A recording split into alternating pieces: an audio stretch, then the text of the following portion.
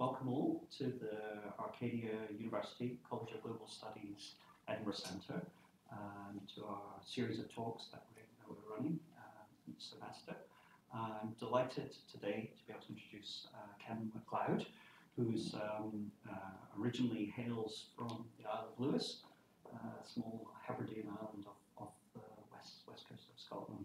He then went to study at the University of Glasgow um, and uh, then went on uh, to work in um, software, software Mhm. engineering, and then uh, became a writer. Has currently uh, 15 novels, is that right? I think so. yeah. Around about 15 novels, uh, multiple uh, award awards that he's won uh, in, in the field of science fiction. Uh, so I've got a couple of quotes that are quite nice. Um, his novels are a complex exploration of future politics and revolutions and bring fresh life and wit to the utopian form. And uh, a quote from Ken, we'll hear a lot more from Ken himself, is uh, he likes to look at things and imagine their consequences. So uh, that's taken from Glasgow Herald. So Ken, thank you. Thank you very much. Thank you very much, Hamish, and thank you all for coming along. Um, I'm, I'm going to talk very informally about really where I come from, how I became a writer, how I write, and how this, this novel, The Restoration Game, is seen here in its nice American paperback edition, and in its nice British paperback edition, slight difference in cover styles and so on. Very typical, in fact, a, difference between American and British. Publishing, American covers tend to be, particularly speculative fiction covers tend to be a lot more um, illustrative, if you like, and specific than British ones, which tend to go for being evocative. And we've learned that evocative covers don't work so well in America, so there you go. Uh, as Hamish said, I was born in the Isle of Lewis, on the Isle of Lewis, as we, as we put it, in 1954 and I left when I was about 10, around about 1965, when my father, who was a minister of religion, a minister of a small Scottish church called the Free Presbyterian Church, got a call to the Greenock congregation. And I grew up in a situation of rather odd, um, a rather odd alienation in that everyone around me spoke Gaelic as a, as a first language, but our family didn't, despite the fact that our parents spoke Gaelic as a first language. And in fact, my father preached in Gaelic on Sunday nights. And when, when we moved to I five brothers and sisters and another one on the way, and it was a great, a great exciting culture shock walking down streets and because I was used to ambling along in the on very basic roads, literally bumping into lampposts. I was such a such a country cousin, and I, I found you know very exciting. It was a very industrial town, severe air pollution and all that, and but really it, it felt like a, a, a boom town at the time and everybody, when they left school, could walk into a job, or if they were too too smart or too ambitious to walk into a job, they could more or less walk into university. You didn't need to take out a loan, you got a grant from the government to do it, and so on. We didn't know how lucky we were. And um, when, when I was a teenager, I got kind when I was a kid, in fact, I, I read an awful lot. Uh, like many people who become writers, I was a tr- tremendous reader as a child. I read voraciously and read everything, regardless of the age or sex of the supposed reader or, or of the characters. You know, I read adult books, I read non-fiction, I read um, read our sisters, you know, comics, read my the girls' books in my mum's grand grandmother's house. I'd read the boys' books in my cousins' houses and so on. Read, read an enormous amount.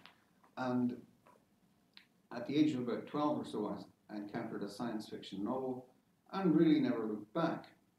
And it had the somewhat unfortunate effect on me that it convinced me that I wanted to be a scientist. And I spent the next nearly 10 years trying to be a scientist and eventually failing dismally. And in the 1980s, like many failed scientists at the time, I was looking through, doing a clerical job and looking through the back pages of New Scientist, the British Science Weekly, which has job advertisements at the back, and found an advertisement for uh, retraining as a computer programmer. And I passed the aptitude test to my great surprise and retrained as a computer programmer. And I found that at that time in London, the IT industry was basically full of people like me, and that, there was a remarkable number of people who had science degrees and no science jobs, and a remarkable number of people who read science fiction. And round about the time when, in the late 80s, when I finished my postgraduate degree, years too late, and got my, and finished my thesis, I thought, well, I've paid my debt to society. I've put something in the library that maybe nobody will ever look at again. But I've, basically, I've written a book with a print run of 12, so I know I can write a book. And more or less coincidentally, around about that time, my, my late great friend Iain Banks, who I'd known since high school, had launched his third or fourth novel. And at the launch party, which I think it came up to Edinburgh to, from London to attend, at the launch party or in a flat where the party continued afterwards, I heard from a mutual friend that Iain was getting heartily sick of hearing from me about all the novels I was going to write. So I thought i I thought this was this was my chance. I was going to prove to him that I could write a novel and prove to myself that I could write a novel. So I started writing my first novel, The Star Fraction. And that went through several drafts, one of which I sent to Iain's agent, a lady called Mic Cheetham, who is still my agent. And she told me that she liked the language and liked the, the characters and so on, but she couldn't make head or tail of the plot. And I couldn't understand what the problem was. And she said to me, if it was a film, what would you have on the poster? And I said, It's a story about a man who gets killed, but his gun goes on fighting. She said, Great, now go and write that book. So I spent that summer rewriting it, and that was the, the draft that got accepted. And I got a two book contract, then I got a second two book contract. And oh, I was still work, working as a computer programmer back in Edinburgh. In fact, not 100 metres from here. I was working in the Management Information Services of Edinburgh University. and writing a novel in 18 months while doing a full-time job is uh, quite hard work. So I think by the time my second two-book contract came along, I made the reckless decision to, excuse me, the, the reckless decision to go full-time as a writer which I've often had occasion to regret, because unlike being in a, a well paid and fairly secure job like a programmer, you, you can get good money, but it, it's very uneven. However, I've been gone on, as Hamish said, I've written 15 or I think right now 16 novels since then.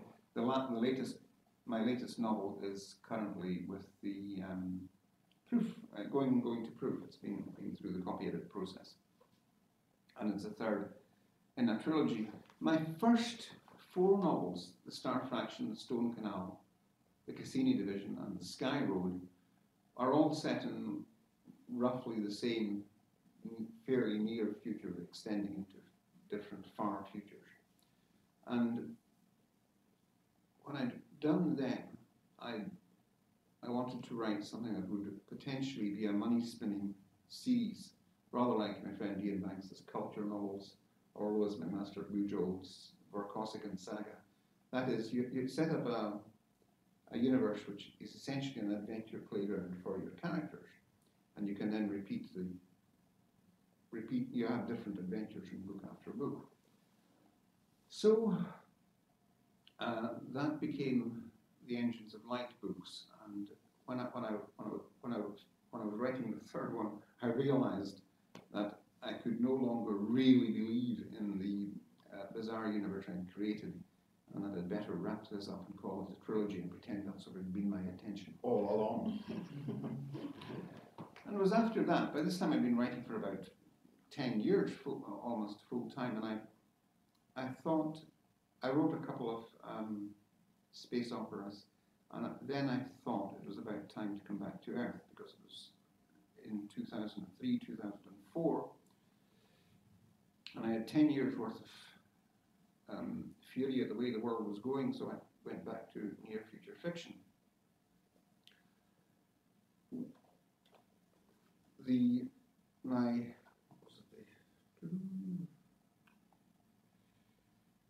my first novel, the return to the near future, as it were, was called The Execution Channel, about the war on terror. Second one, The Night Sessions, was a police procedural set in Edinburgh and involving religious terrorism by Presbyterian terrorists. a long delayed revenge, that. and the third was The Restoration Game.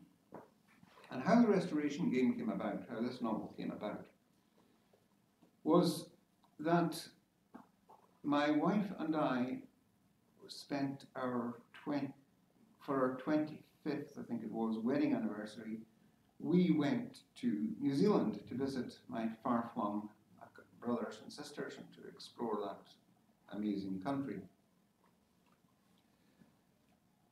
You, you, you, there are certain landscapes in New Zealand where you go through and you say, wow, this is like something out of Lord of the Rings. And then you remember, yes, it is actually out of Lord of the Rings. You've seen these actual mountains in the actual movie. Um, the, the, the character Lucy mentions uh, later on in this book, she mentions a mountain range called the Remarkables. And she says the name is as if the European, the first Europeans to see them had staggered down from the Cook mountain range with nothing, nothing left but this and their barrel of adjectives. um, but how it came about was that, how it started was my wife and I were waiting at the airport of a little town called Queenstown, a little resort high in, high in the mountains, and waiting for a plane. And we were sitting outside looking at the remarkables, and we heard on the PA system an announcement saying, Will the passenger Lucy Stone please report to the airport information desk? And my wife said, That sounds like the start of a novel. I wrote it down, and it became the start of a novel. It's not quite the start, because the start, there's a, a, a, an earlier start from um, a different and wider world that wraps around the world of the novel. And this, in this novel, The Restoration Game, it, it, I've had the idea quite some time, and I discussed it with my editor, of writing a near futurist, quasi contemporary techno thriller in which a computer game, a multiplayer computer game, was used as a safe environment to carry out uh, some kind of plot, to plot a revolution or an uprising or whatever. And my editor, my then editor, Darren Nash, was very enthusiastic with that, about that. And said it sounded like a good idea, and I started thinking and researching and so on. And I'm not quite sure, to be honest, where the character Lucy came from, or where the the um, except that she came, of course, from the PA announcement. Yes, I started wondering who is this Lucy Stone and why is why does she have to go to the go to the airport information desk and what's going on? And it kind of evolved from there. And in the course of writing it, I drew on various experiences that I'd had and adventures that I'd been on and places where I've um, been, such as the, you know, the places in New Zealand including in Queenstown itself. The most, some, in fact, some of the most improbable sounding things in this book are more or less true, but I'm not going to tell you which they are. Um, I, I was myself in the 1970s on a journey to Eastern Europe, which is kind of like the, what is called the Five Cities Journeys in, in the novel. And I discovered later these journeys were part of a much vaster conspiracy than the one I thought I was in. Um, when I when I sat down, when I happened to be watching back in 1999 or so, watching a, a BBC program called The Spying Game, in which the very same um, operation that I was in was finally revealed as a CIA plot. um, I nearly jumped out of jumped out of off the sofa because I was in that van. Yes. So I, in, in, in the story, I, I disguise it slightly by having it in a lorry rather than a van, and drawing in this character called Cairds. He was based on various, I suppose, based on various friends of mine. The the party where where Lucy's mother meets um, Ross, the um, the main, I suppose, it was the main male character in the book, um, is based on a party that I was at in Glasgow around about that time in the late 70s, and um, where, where I, I met Carol, but I didn't know that at the time. that was the other funny thing. I was telling Carol about that party. Carol and I were, were talking about that party just a few years ago, and we re- each realised that the person we'd been so interested in at the party was each other. And we, we, hadn't, we hadn't known. And that, that, but it was even after I had written this, this novel, it, and Carol had read the novel, and she still hadn't twigged. So one can draw on real life, one can draw on real experiences, even when one is writing science fiction. Where I get the rest of my ideas from tends to be from reading New Scientist, or at least skimming it every week, reading books on philosophy or politics or biography or whatever, history, this kind of thing.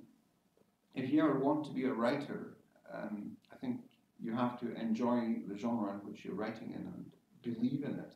There's no point in writing, well, you, you really can't, certainly for popular genre fiction, you can't get away with writing um, in a genre that you despise.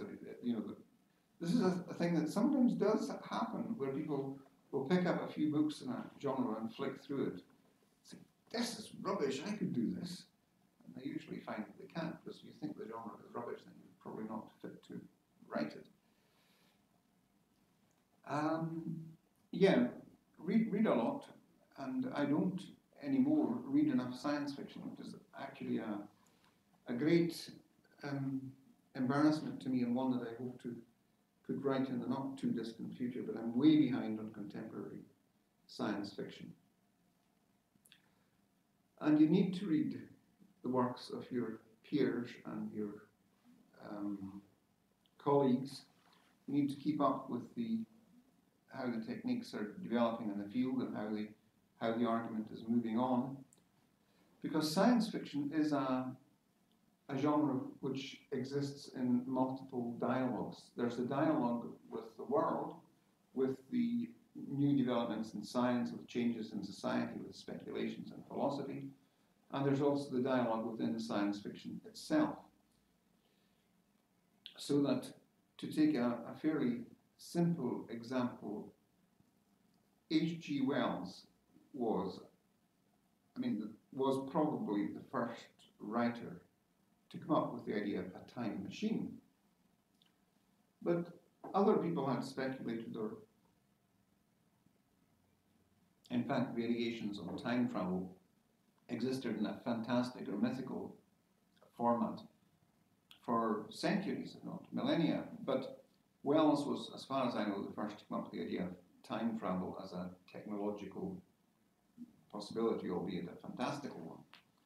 And as soon as you have the idea of time travel, you have the possibility of all those paradoxes which Wells either didn't think of or deftly avoided, hoping that his readers wouldn't think of before somebody else did.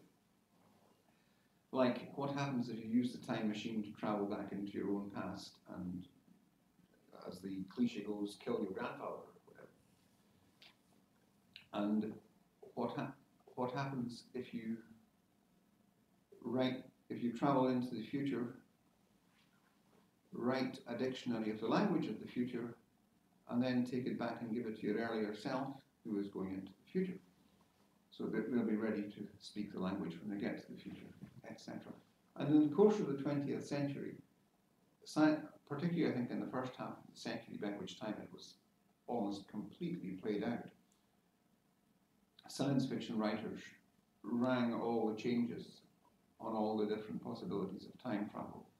Similarly, with ideas of space travel, which began ostensibly um, scientific with Verne, although Verne evidently, despite his great pride in getting the technical details right, really had not worked out what would happen to your body if you were shot out of a gigantic cannon at the moon.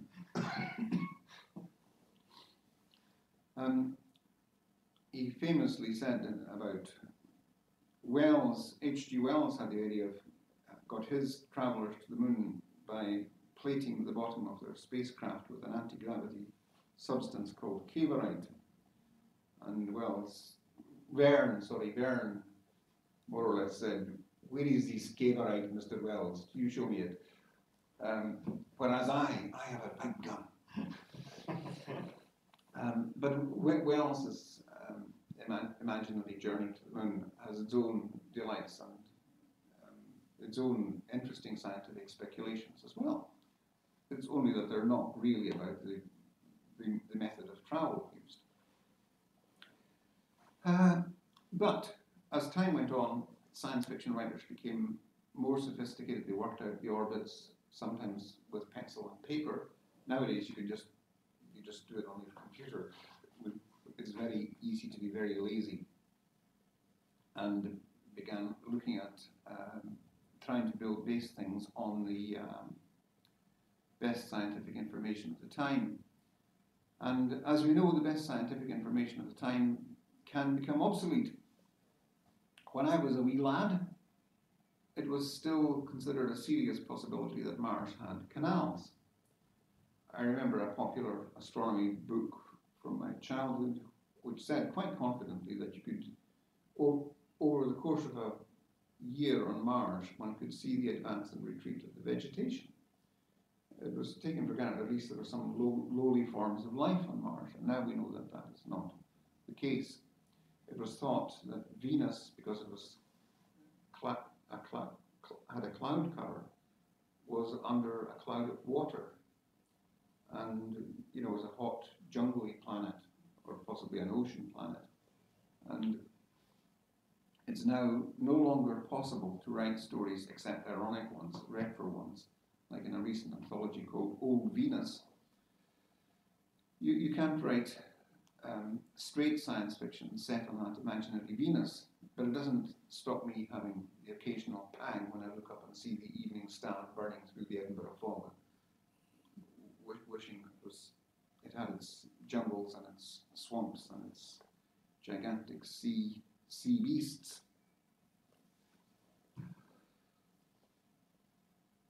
Uh, I'm just to wrap up, as it were, I'll say that as you can tell from my so far, I think, 25 minute rant, I'm still tremendously enthusiastic about, about science fiction. And I intend to go on writing it uh, while I physically and mentally can, which I hope is for a long time. I would write a mainstream novel if I could come up with any good ideas for a mainstream novel, but I haven't. I, will just close with an anecdote about Iain Banks. I once, once moaned to him about my um, powerless financial state, and he said, write a mainstream novel. And a few months later, I said to him, well, that was good advice, but whenever I get an idea for a mainstream novel, it turns into a science fiction novel. To which he replied, Well, don't!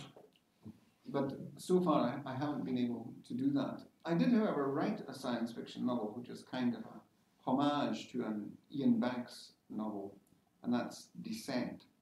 It's about two young pals who are growing up in a not too distant future Greenock and get knocked down by a strange light from the sky, which um, changes their lives ever since. Um, after writing these sort of all these near future novels, I came up with um, an idea right out of the deep, dark past of science fiction, which is essentially about a robot revolt in space from the robot's point of view. And my editors were so enthusiastic about that that they gave me a, a contract to write a trilogy, a trilogy in two years. Uh, yet another decision which I live to regret. but the third, the third volume is indeed coming out in September. Touch. Thank you. Questions? Um, at the beginning, you mentioned that you read a book when you were 12, a science fiction book, and never looked back. What was that book? It was Rocket to Limbo by Alan E. Nourse. Nourse was a very fine writer of, a very competent writer of science fiction. He also wrote a mainstream novel. He was, in fact, a physician. He wrote a mainstream novel called The Practice, which was about a, what, what it says on the, on the tin. Um, and, but he, he mainly wrote very well considered uh, science fiction novels, some of which were for young readers. And I think the one, that first one that I read was written for younger readers. And it introduced me to all the crackpot ideas of Golden Age SF. Because right at the start of the novel, there's a marvelous scene where somebody is at a spaceport and they're seeing fishermen from the planets of Vega with their gold dangling earrings going up the ramp and cattle herders from Aldebaran and robots from somewhere else and they're all going, you know, like one of those scenes of Star, Star Wars or something like that, a variegated scene. And they're going off on this, they're all going off on this faster than light starship faster than light travel. But before faster than light travel, there was the multi-generation ship. That is a, a, ship traveling at a tiny fraction of the speed of light. One that we could actually technologically build now if we were crazy enough to put all our efforts into doing it, going off to Alpha Centauri. And this ship disappeared. Nobody has ever heard of it. And it's, the novel is about finding the lost colony of these people who who um, were on that first ship. And it's very romantic. It's full of things like psychic powers and telepathy and telekinesis, again, which seemed to me at that time serious scientific possibilities. Um, which, again, some psychologists even then thought they were. Um, there was a chapter on telepathy in one of the one of the psychology books that I read as a student. like I think it's Sense and Nonsense in Psychology by Hans Eysenck. Um, and it was in the in the sense part, not the nonsense part. The reason was that, as I think it was either Eysenck or Arthur Koestler who funded the Koestler Chair in Parapsychology at Edinburgh University in his will, um, that he said, well, either something very remarkable is happening, or there is an incredible conspiracy of fraud. And in fact, there was an incredible conspiracy of fraud. so, psych psychic powers are, as far as I'm concerned, right out the window. But yeah, you were saying that was that was the first one. I read lots of Heinlein juveniles, Isaac Asimov, and then being one of these nerdy kids and most of my friends at school were other nerdy lads. We worked our way systematically around the first the junior library, then the grown-ups library, from A to Z, from Aldiss to Zelazny, and everyone in between. Uh, I don't think I, I didn't voluntarily read fiction other than science fiction between the ages of 12 and 22, which is And I got as far as first year English at Glasgow University. Um, I, I winged it by writing writing essays on the Day of the Triffids in 1984. And I even got a distinction. So there you go. You can get a long way with science fiction, but you can't can't get get all the way with it. You do have to read real real uh, real literary fiction sometimes. And when I discovered real you know literary fiction, um, there was then about ten years in which I didn't read any science fiction at all, except Iain's manuscripts, obviously. Yeah. So I have a question that's twofold. Like, how would you say your writing has changed since you began in 1987 and now? And how would you also say that science fiction has changed since the late 80s and what science fiction is now? Oh, thank you. These are good questions. I think, in terms of my own writing, one of the things that's changed is that I've become rather less pretentious and wordy. I one one of the big influences on me and uh, also also on, Iain, if I can recapitulate a little on, on that. I met Iain Banks at high school, and we both loved science fiction. We both read it a lot, and we had quite a bit in common. And in high school, in the first couple of years at university, and we one of the big influences on us was a magazine which had become a quarterly and then a, a very irregular mm-hmm. paperback anthology called New Worlds. And New Worlds contained very interesting experiment, rather experimental stories that weren't much like traditional science fiction, and some scathing criticism of traditional science fiction by critics like John Clute and Mike Harrison. And I had the, I suppose every writer, just as every artist starts by copying, every writer starts by sort of, you almost unconsciously imitate a style, sometimes you consciously emulate a style. And my idea of the perfect science fiction style was Mike Harrison. So I did this quite uh, over overloaded writing and in my first novel in particular, then my then my second novel, when I was writing the the first few chapters of my second novel, I made a, a great discovery which I, I recommend to any aspiring writer, and that is I showed it to the guy who was at that time, or just recently been the writer in residence here at Edinburgh University, Andrew Greig who lived in the same town as I did in South Queensferry. And we became friends.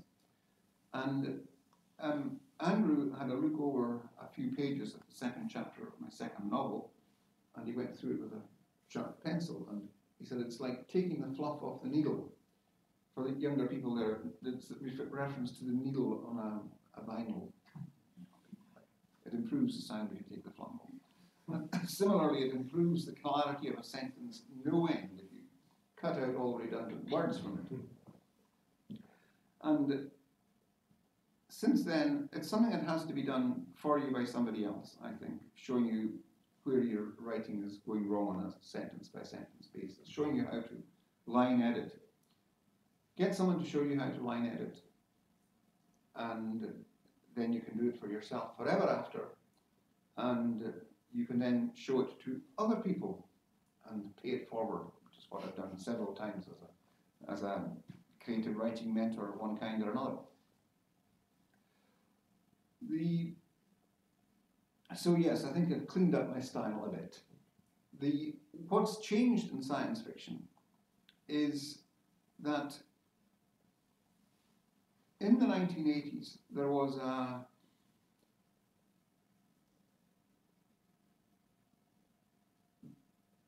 a sense in science fiction that it wasn't going anywhere. Mm-hmm.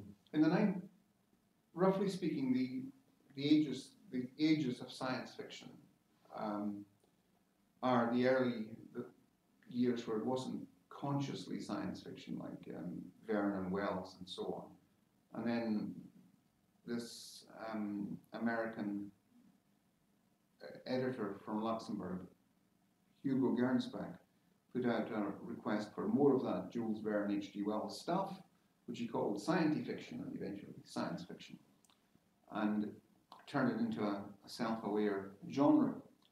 And then there were some in the 19 in the 1930s and 40s.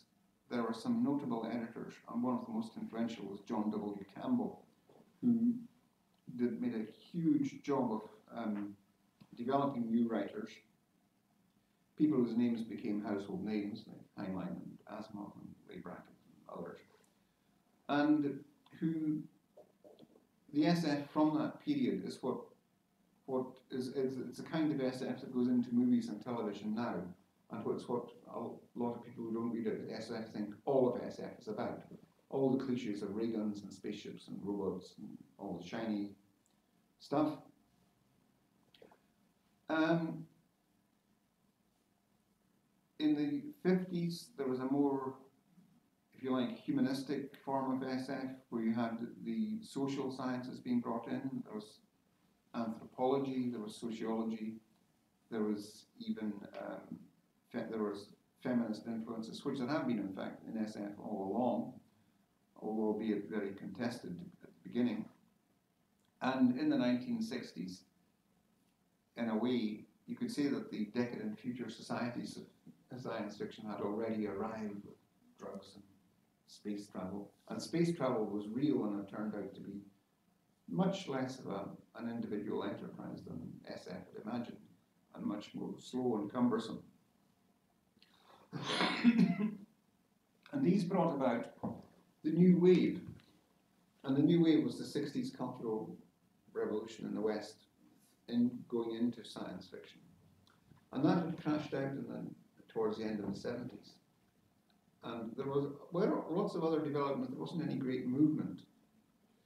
There was very good work um, was going on, but there wasn't there was no sense of a, a cohesive movement in science fiction until cyberpunk came along.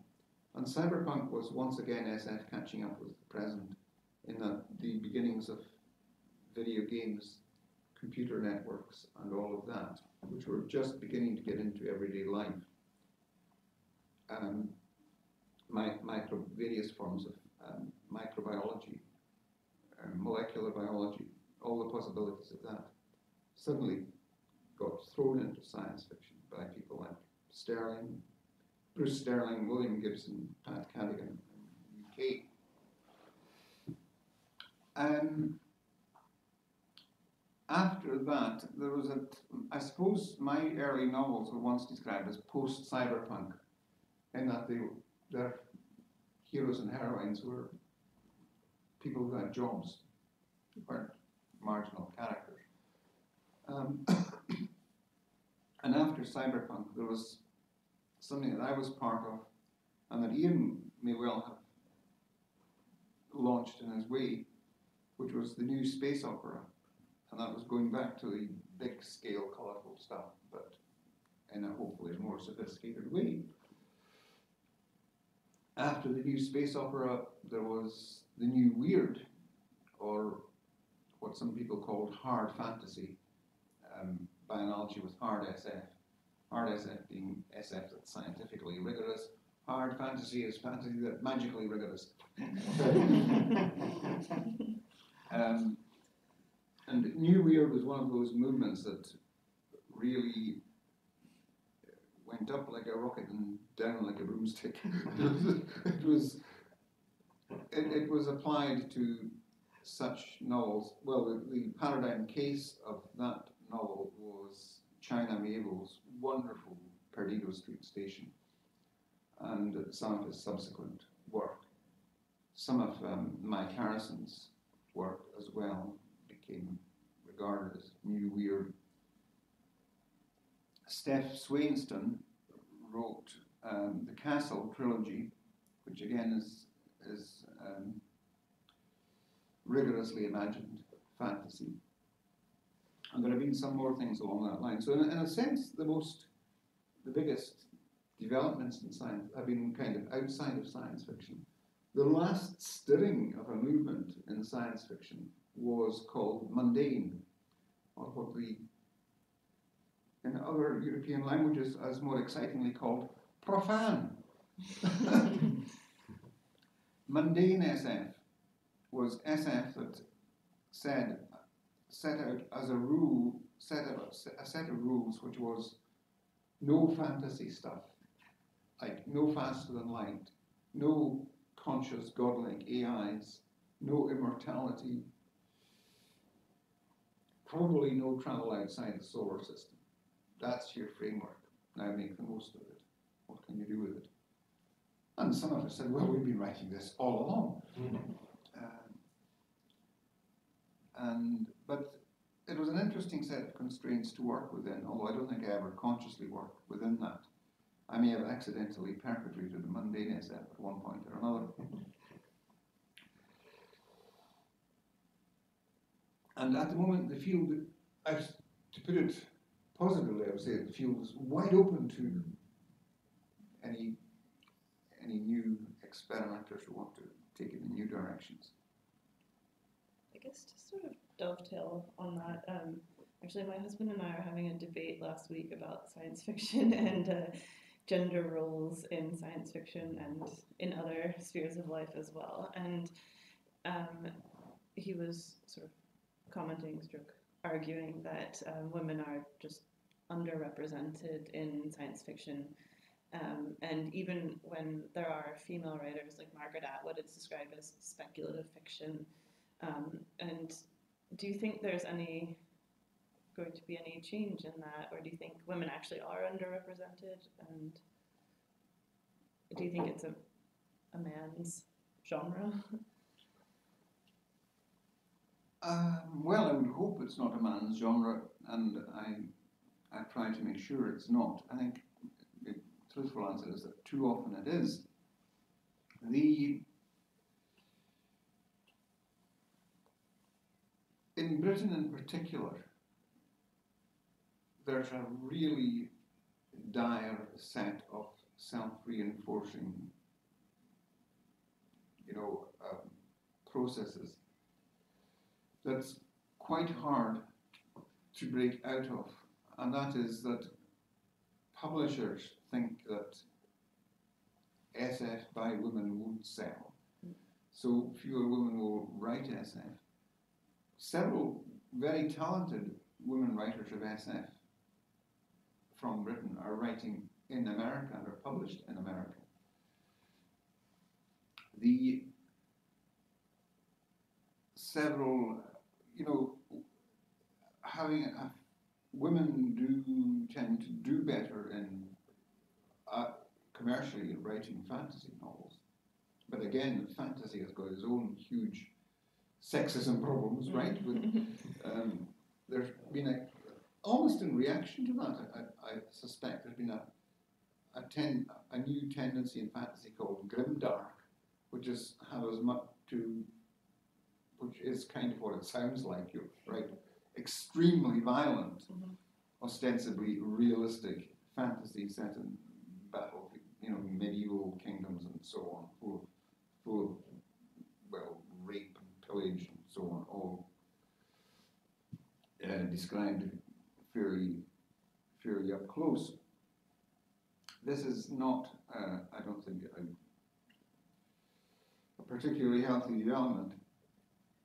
But, you know, women have been underrepresented in science fiction, but there's an increasing number of women who do write science fiction. And in terms of the readers of science fiction, that's where the really galling thing about it is, because most readers of science fiction are women, Mhm. just as most readers of anything are women, of any kind of fiction. So, uh, um, why there there has to be has to be a way out of these terrible cycles. and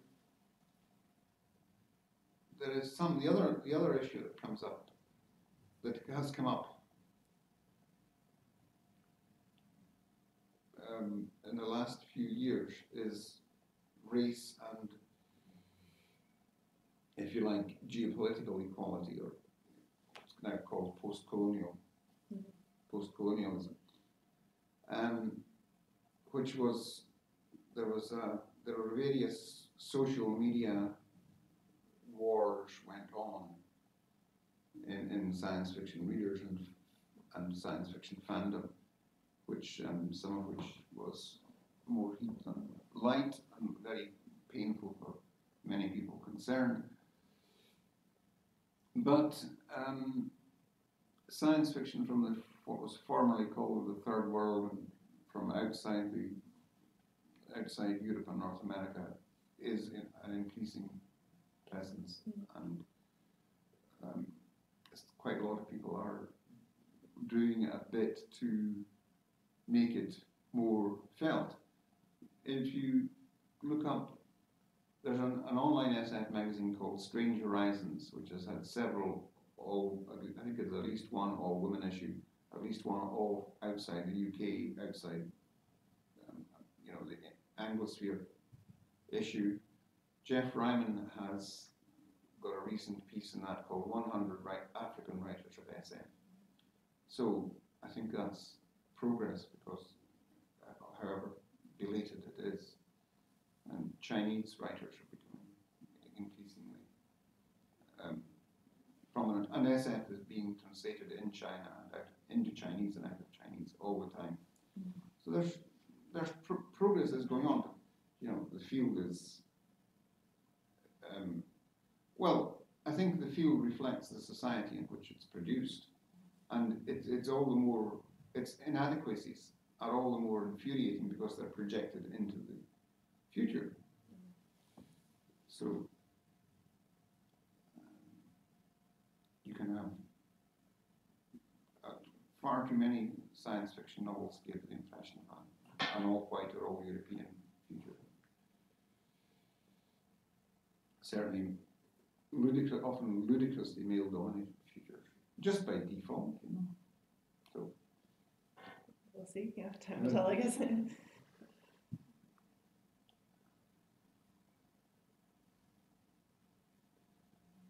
I think the, the one thing that struck about the restoration game was the was the kind of the analysis of uh, uh, the development of uh, kind of co- computer kind of developments in communications and software and games and how that kind of was tied into geopolitical movements, revolutions, and changes. And you, well, one can't in this current age not be sensitive to to the kind of the role of social media in shaping kind of democratic will or, or taking people in one direction or another. Is that do you kind of reflect on that as you as you kind of sit through the current era, uh, or do you kind of look back on your books and think, hmm, that's that, that's kind of that's where we are, or that's where we're becoming in some sense? That's a good question.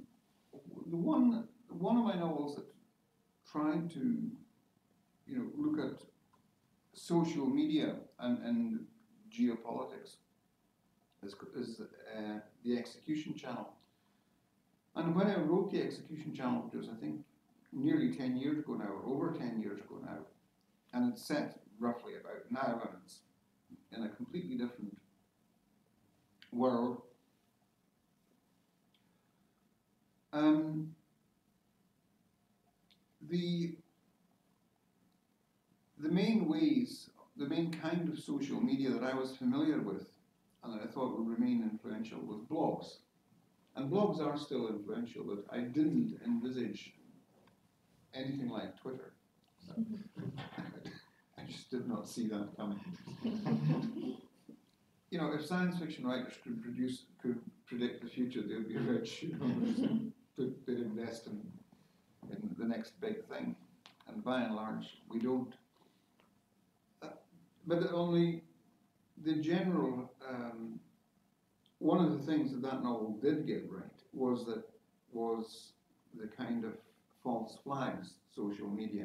In other words, you have um, effectively what are now called trolls, um, people who are pretending to stand for a partic- some particular viewpoint or party or whatever, and who in fact are agents of their opponents.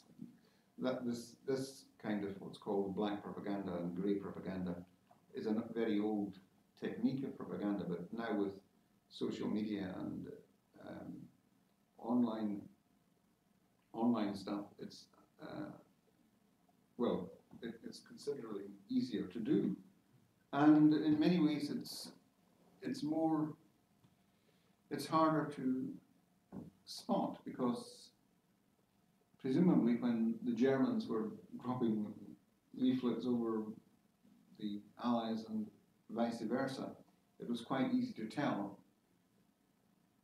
um, who was faking whose propaganda. But when you, when it's all all electronic, it's a lot harder to, to trace. You you don't know who you're interacting with online, and this is a this is a, a disturbing thing, and I think it's going to get only going to get more disturbing as we go on. I don't think it's been fully reflected in science fiction. I'm, I'm trying to think of ways in which to do that myself, but uh, so far it's one of those plates that are spinning in the air. You have to be quick before the reality becomes. Yes, well, yes, yeah.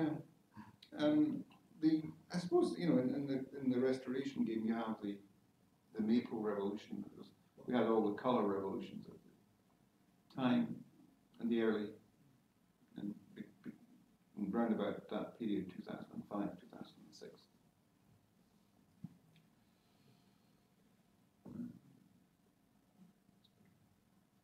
Any other questions? Um, I guess I have another one. So you mentioned that your father was a minister, and this book I think kind of deals with a little bit. It, it kind of gets into like what is the meaning of our purpose here, who's kind of in charge. And I'm just wondering if that background in religion has played any role in your writing career.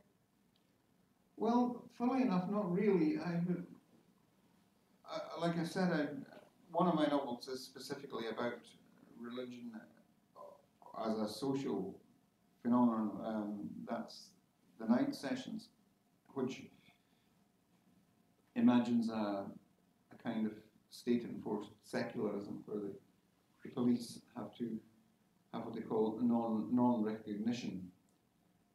It's like the French version of secularism, but even more um, severe, and you just don't you don't uh, you don't there's no persecution. It's just that you don't recognise that any religious institution or motivation whatsoever until you know people somebody's shooting bishops and stuff like that. So they start have to start doing it, looking into it.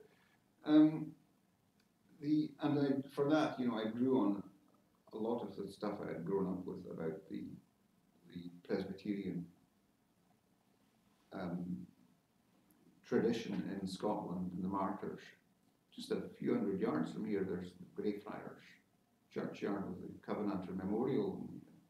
Find out can we had all our had our, our martyrs. The whole, in fact, a lot of this part this, the central belt between here, Ayrshire, Ayrshire and the central belt.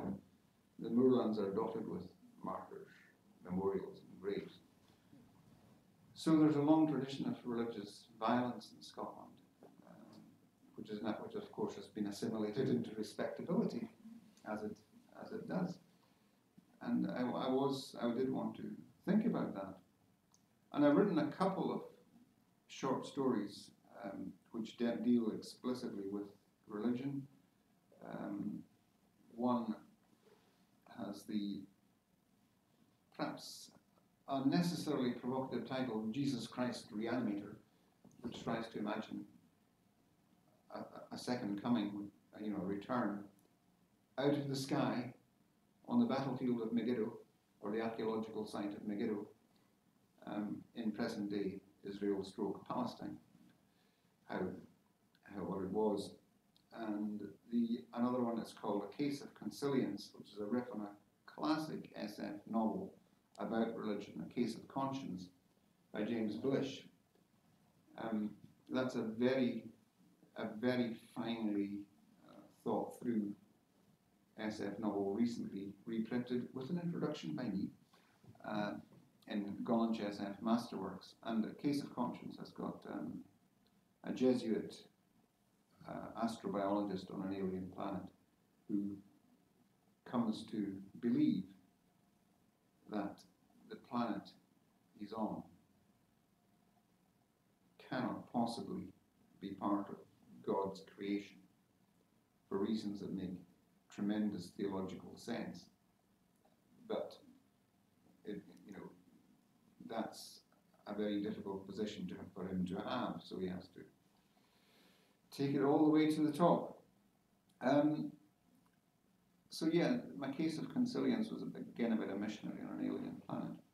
But apart from that, I haven't really gone into it. In, in terms of the, you know, the, the simulation possibility, that's that's something I don't, well, I don't take seriously in any existential way, but it's tremendous, it can be tremendous fun to play around with. And it's, a, it's an interesting thought experiment as well. I suppose there's a kind of deterministic sense, isn't there, where characters are being planned by someone mm. else. Yeah. so, so that this is kind of the, kind of the hang on a minute, I'm, I'm not who I think I am mm-hmm. in that space. So I suppose in a sense there's a theological Mhm. subtext there. Yeah. Free will and, kind of- Yes. and control. And Yeah. that's it.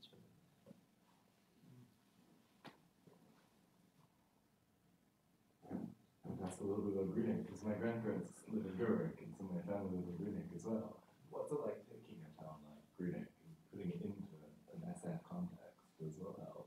Like, is that, I mean, like, I'm thinking of working class area of Scotland, or now very working class, and increasingly deprived part of the country. And, like, something like, a bit like, oh, I forget now, the author that was with the Lodge of the Skin was based on as well, like the use of kind of like Scottish contemporary landscape and deprived landscape and exhibiting it through the lens of all the science, science, science fiction viewpoint. Like how what was that when you took the town you spent a lot of your time in and and remade it through the genre or through your own fiction as well. Yeah, the only um, case where I've used Greenock itself in, in science fiction is in a novella called The Human Front, um, where I kind of reproduced the, and remixed, if you like, the culture shock that I had coming Yeah, from yeah. Lewis to Greenock. And the Greenock I describe in that novella is not too far removed from how it felt. And I, I, as I've said in, on other occasions, I, I was quite shocked coming from Lewis to Greenock because I had a, although life on, on the Isle of Lewis was in some ways quite, um, could be quite hard, nobody was actually poor.